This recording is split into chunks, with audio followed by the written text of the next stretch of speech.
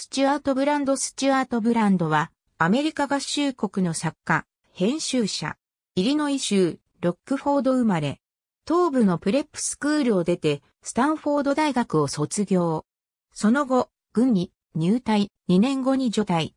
1966年に NASA に対して地球の写真を公開する請求運動を開始。全地球カタログの編集及び制作者としてよく知られている。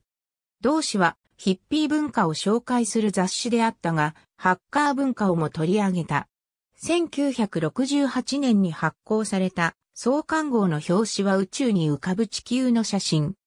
ブランドはスタンフォード大学で開催された第1回銀河警官スペースウォーオリンピックに立ち会った経験をもとに、1972年にローリングストーン氏にスペースウォーコンピューターオタクの熱狂的人生と象徴的詩を掲載した。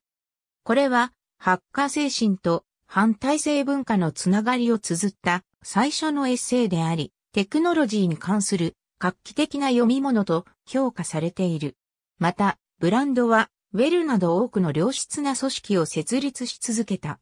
他には、シナリオプランニングで有名なピーター・シュワルツとコンサルティング会社グローバルビジネスネットワークを共同設立した。現在はロングナウ協会の代表をしている。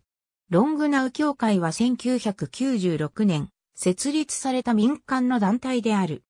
よりゆっくりに、よりよくという考えを促進するために、今日のより早く、より簡単にという考え方に反するようなプロジェクトを行っている。特徴的なのが時間の表し方で1万年というスケールを用いているので、例えば2008年は、ロングナウ的には2008年である。あなたの年齢が45歳であるなら、ロングナウ的には00045歳である。次の1万年の枠組みにおける我々の責任を創造的に伸ばすことを目指し、様々なプロジェクトを行っている。現在、彼と彼の妻はカリフォルニア湾の引き船に暮らしている。環境運動家であり、原発肯定派である。ありがとうございます。